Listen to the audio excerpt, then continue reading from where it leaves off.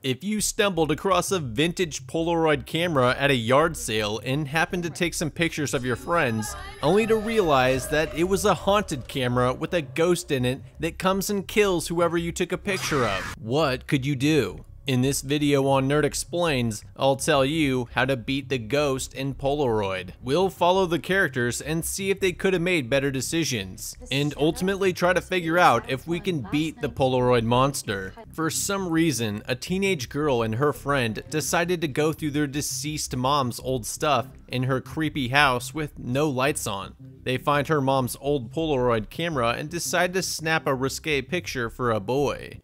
One of a kind, something only he'll have a copy of. He can take a picture of the Polaroid though, just saying. The friend has to jet, and the girl decides to stay in the creepy dark house at night by herself. What high school girl would do that? I'd have left the house with my friend and come back the next morning. After admiring her own model shot, she heads downstairs to find that Linda left the front door open. How inconsiderate. But then again, it's a creepy old house, so we might not be as alone as we think. Call me paranoid, but I think it's reasonable to get a little nervous if you find out the front door of your house is ajar at night. I came home once and my dog started barking in my dark bedroom. I went and got my gun and tactically cleared the room and closets using Special Forces tactics I saw on YouTube. You gotta slice the pie. Leave a comment if you know what I'm talking about. She then hears the Polaroid camera charge up upstairs and goes to check it out. I don't know much about Polaroid cameras, but I'm pretty sure they don't just charge up on their own randomly.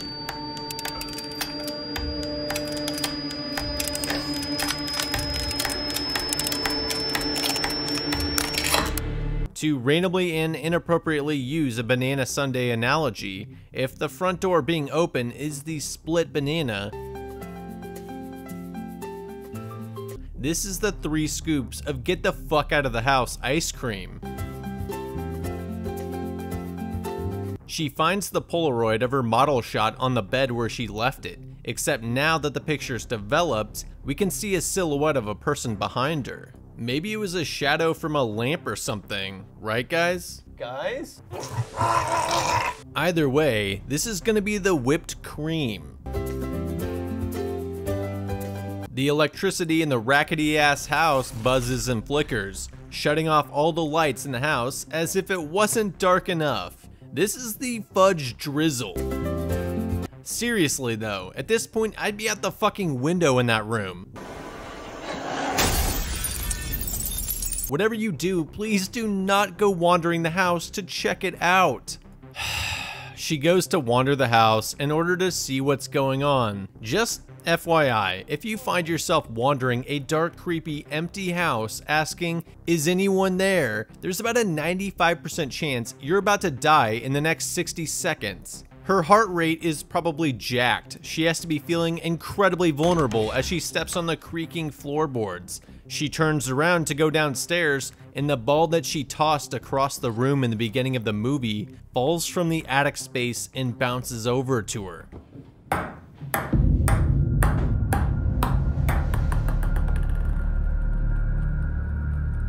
This is the nuts sprinkled on the chocolate drizzle. This is like the fifth red flag. You should be sprinting out of the door. But not this girl. She goes to pick it up and scared shitless asks, Linda, is that you? Linda? This isn't funny. Before she climbs the ladder into the attic where the ball fell from. Can she make any more mistakes? I feel like I'm losing my mind at how stupid this girl is. Who on planet Earth would do what she is doing? The Grudge came out in 2004, instilling an unhealthy level of fear of addicts that should have prevented this. Once she makes it into the attic, the ladder randomly falls to the ground without her touching it. From the corner of the attic behind some plastic tarp, she distinctly hears the horrifying sound of something or someone wheezing. What does she do? she goes to check it out, of course. This teenage girl is seemingly impervious to fear and proper decision-making skills. This is the cherry on top of the sundae.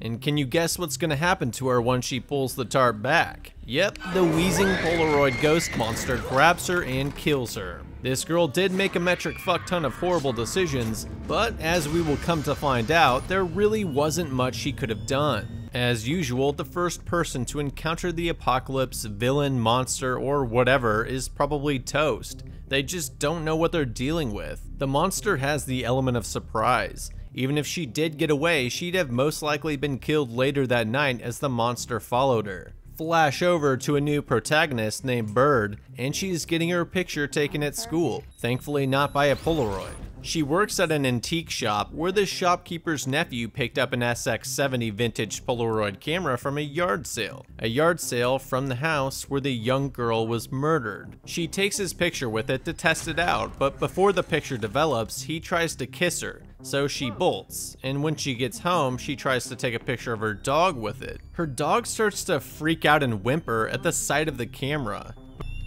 Ned. Ned. Before she can snap the picture, her friend interrupts her. Thought the dog was gonna get it. Later on, when she's going to a party, she pulls out the picture of her coworker. It's developed now, and there's a silhouette of a person behind him. This is the first time Bird sees something odd, but it could just be a smudge or old film. There's nothing that should really alarm us. Back at the antique shop, Tyler is still there, testing and pricing old shit. He pulls out the Kodak carousel, but instead of it being a time machine to a place he knew he was loved, it's an opening from hell that brings him death. Let's just travel the way a child travels. Round and around, back home again.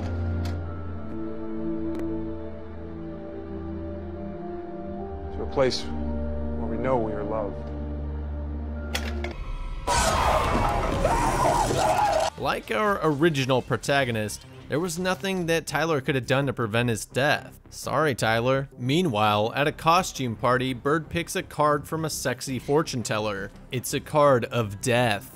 Her friends try to take a group picture with their iPhones, but Bird says, wait, no, let me take it with my Polaroid camera. She snaps a picture of all four of her friends. As the flash goes off, she immediately notices a strikingly similar shadow to the one she saw in the Polaroid of Tyler. She checks out the developing picture and, despite the shadow in the camera flash, there's no shadowy figure in this picture. Avery shows up and takes a selfie with the same camera. Before the picture can fully develop, the police show up. They aren't there to break up the party though. At the police station, Bird finds out that Tyler was murdered that night.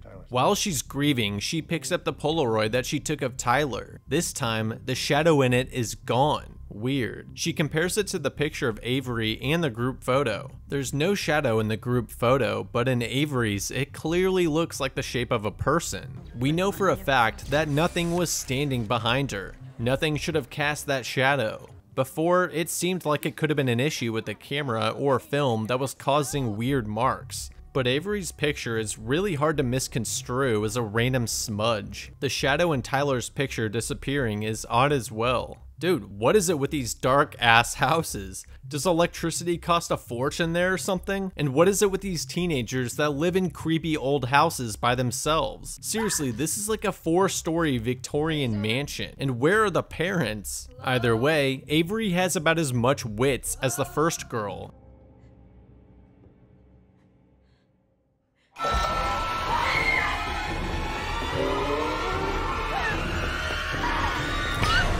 And gets her head torqued by the Phantom.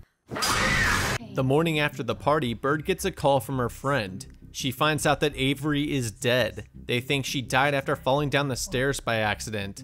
Bird knows that something is very wrong, and these deaths might be connected to the shadowy figure that's appearing and disappearing in the Polaroids. She goes to check Avery's picture, but the creepy figure is gone. These pictures are all completely developed. Nothing should be changing in them. A mysterious shadowy figure moving between pictures is not normal. The thing appears in the group photo next. It seems to be killing in the order of the pictures taken, and after it finishes killing whoever's in that picture, it moves to whoever's in the next most recent picture. I mean sure, a haunted camera killing people seems dumb and far-fetched, but these deaths in the pictures are way too correlated for us to just pass it off as nothing. Especially considering that two of our friends were found dead on the same day, the day we got the camera. and they happen to have their picture taken by this camera. At this point, I would lock that camera up somewhere nobody else could find or use it, and separate the camera from the film.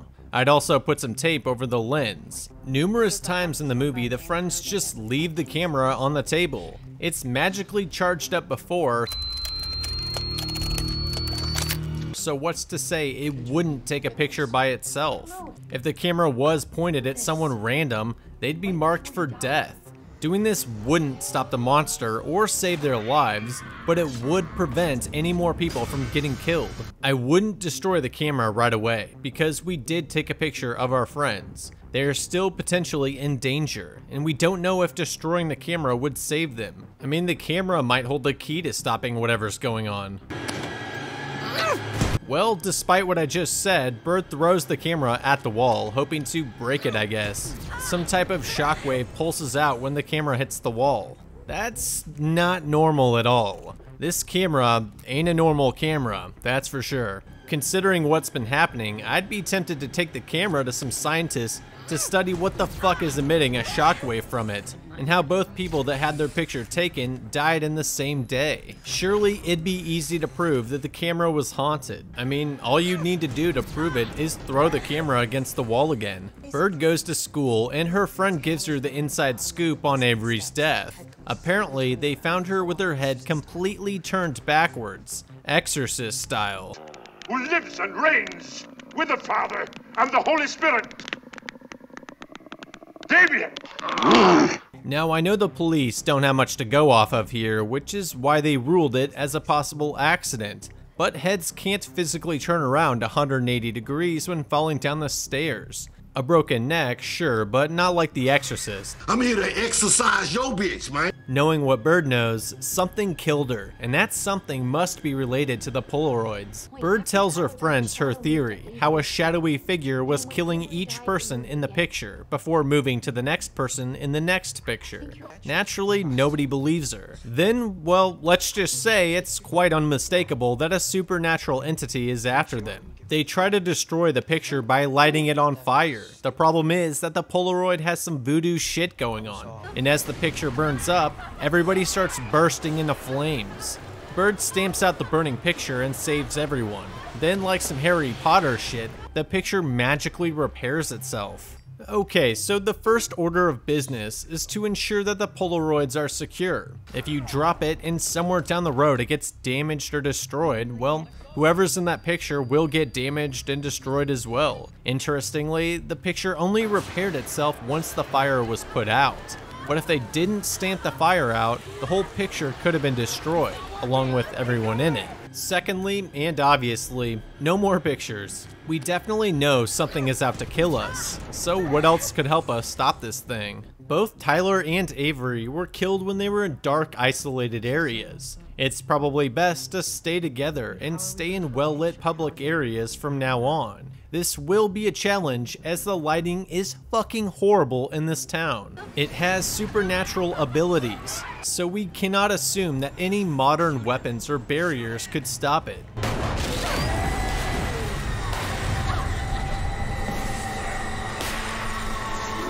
At this point, we really don't have enough information to stop this threat. Only some ways to not be immediately killed by it. We could destroy the camera, but again, we don't know if it will stop the monster. We could be damning everyone who already had their picture taken. There is enough evidence of a supernatural force haunting the camera and causing the deaths of people whose picture is taken. We could easily go to the authorities with all the evidence at this point, which would launch a massive investigation of the situation, the camera, the history, people involved, and massive amounts of security for everyone whose picture was taken. I mean, all you need to do is light the picture on fire again and watch your arm magically burst into flames. That's an extreme example, but you get my point. Getting as many big brains looking at this situation as possible is your best bet at figuring out what this entity's weakness is. You could voluntarily take a picture of yourself, causing you to be the most immediate target. Then, with the might of the National Guard and FBI, set up a trap to test what weapons work.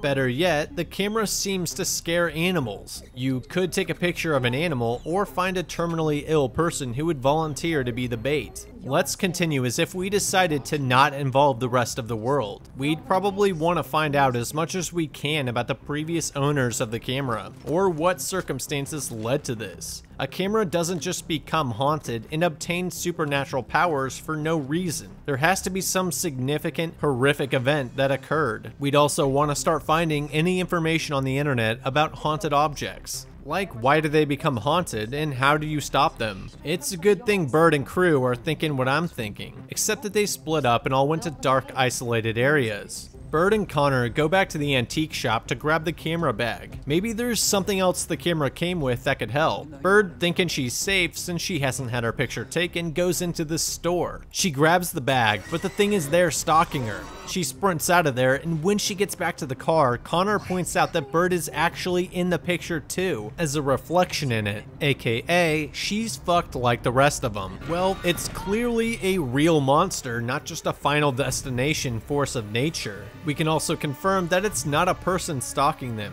This thing has a demented claw hand. Jesus, even the hospital's dark as fuck. And of course, this dude is going to go to the darkest, most isolated room in the dark hospital by himself while leaving Mina alone in her hospital room. Bro, this thing is killing people when they're at their most isolated, vulnerable position. Oh! You're just making yourself an easy target here. Devin eventually returns to Mina's hospital room to get jump scared by his dead girlfriend falling from the rafters with a cord around her neck.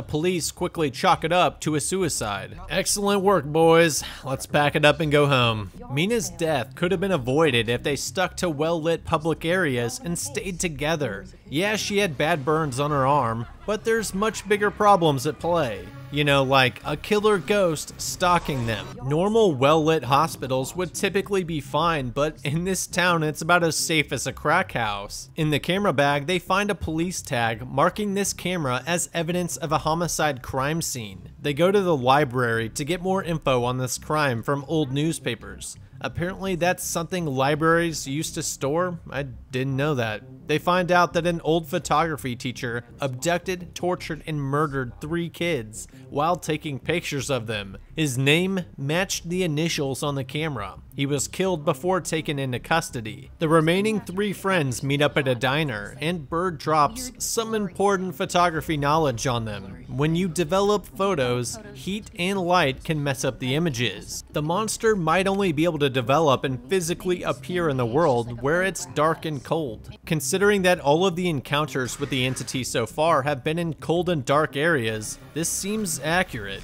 At least it's the best defense that they've come up with so far. Right now, they just need to hang out in hot, well-lit areas until morning. Then stock up on oil lamps, torches, lighters, and flashlights before heading into dark, cold, abandoned schools to continue your investigation. I say torches because flashlights might be unreliable with the whole electrical disturbance thing, and they don't produce heat.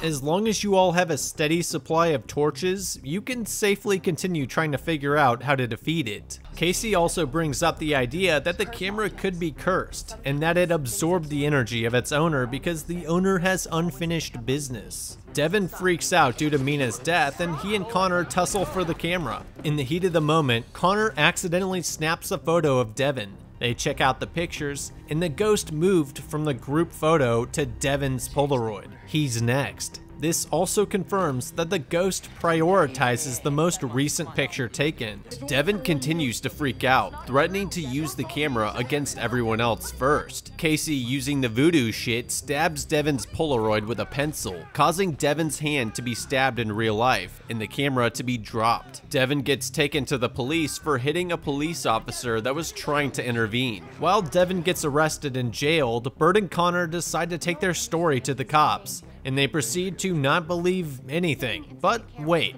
where the fuck is Casey? God damn it, guys, stop splitting up. Casey is now alone and vulnerable, but it's chill because Devin's the target for now. Unfortunately for Devin, and like we talked about earlier, barriers like a jail cell do not stop the ghost at all. Devin was an idiot for freaking out and punching a police officer. By now they knew that a ghost was killing them in dark, isolated, cold places punching a police officer is pretty much a straight drive to a jail cell, which is a dark, isolated, and cold area. It was pretty much a death sentence.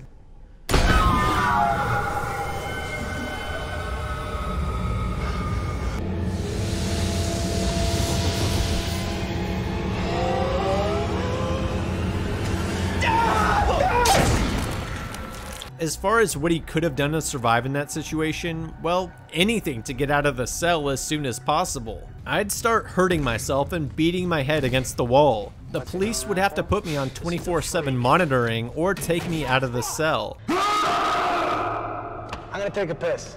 The real big brain move would have been to hide my lighter in my underwear or ass if necessary.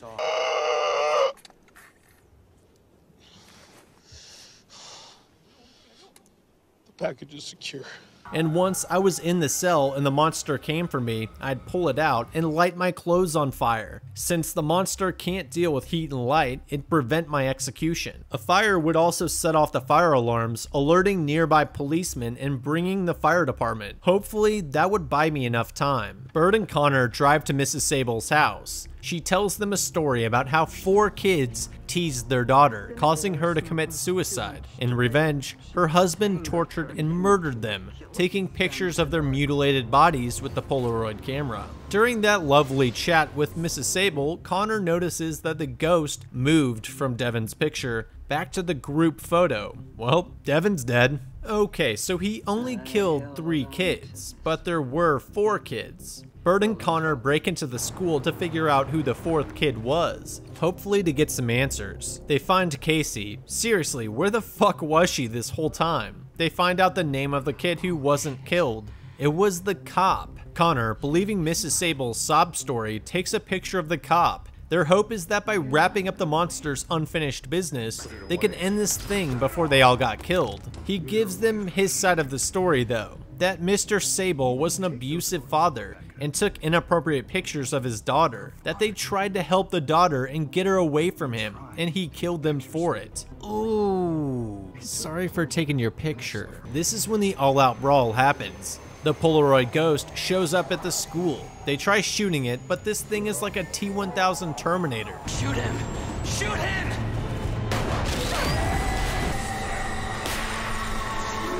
Like the picture, unless the thing is fully destroyed, it will just repair itself, and it can shape its arm into a sword. Side theory, Bird is the leader of the resistance and John Sable is actually a Terminator sent from the past to kill her. Sending Terminators back from the future is just too predictable at this point. The ghost grabs the cop's picture and using the voodoo shit rips the Polaroid of the cop in half, splitting him in two in real life. If they had gotten the torches and flashlights like I had mentioned earlier, they could have avoided the cop's death. Once the monster shows up, light the torches and shine the flashlights at it. This should dissolve the monster for now, and then recover the Polaroid and keep it safe. Bird and Casey make a run for the showers to turn up the heat. It stops the monster like Bird said it would. Bird then, with her finishing move, takes a picture of the fully formed monster and uses the voodoo against it. She crumples up the picture of the monster, turning it into a pretzel. Ah!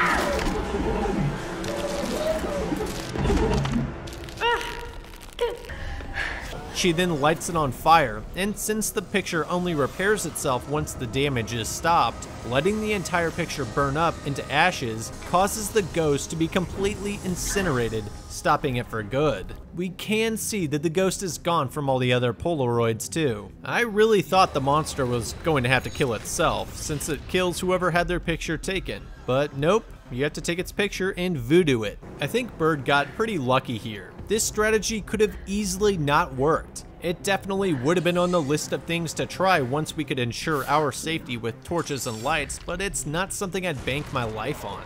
After incinerating the ghost, I would go visit a maximum security prison and take a picture of all the inmates, or just someone that deserves death. Then set an alert for any mentions of their death, just in case we didn't kill the monster, we'd be able to get a little forewarning. Who would you take a picture of? Let me know in the comments. To recap, I think we could save some people and beat this entity. While the first girl, Tyler and Avery were all toast, the rest could have been saved if they made some better decisions. Even though it wasn't 100% clear it would work, staying in well-lit public areas and staying together is an incredibly obvious, reasonable, and effective strategy. You could argue for and against taking the camera to the authorities. On one hand, they could help you figure out what's going on and give you the resources to fight the monster. There would also be a lot of interesting technology that could come from it. On the other hand, the CIA would probably have gained a super weapon for their assassination program. I can see them mounting the Polaroid camera to a Predator drone, taking pictures of people and letting the ghost kill them silently and for free, and with plausible deniability. What do you think? How would you beat the Polaroid ghost? Let me know in the comments. If you enjoy these how to beat videos, consider subscribing. And if you have a movie or monster you'd like me to talk about beating, let me know. Thanks for watching. And remember, don't take pictures of yourself with old Polaroid cameras.